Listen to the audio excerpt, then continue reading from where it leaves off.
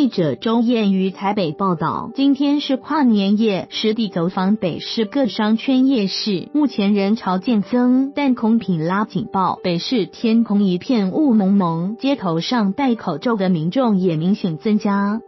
记者实地观察信义商圈、公馆商圈、通化夜市、饶河夜市及师大夜市，不少店家摊商摩拳擦掌做生意，更有超商卸下自动门，准备强攻跨年商机。不过目前人潮尚无特别暴增，且对是否受惠业绩增长看法也不一。值得注意的是，受空品不佳影响，戴口罩的民众明显增加。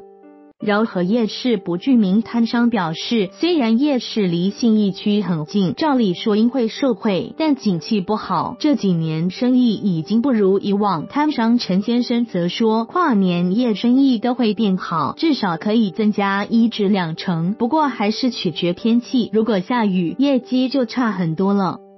机车骑士简小姐说：“今天出门就发现空气很差，能见度很低，戴口罩骑车，安全帽加制的护目镜也拉下来，眼睛还是很酸涩，喉咙、鼻子也很不舒服，整个人也风尘仆仆。”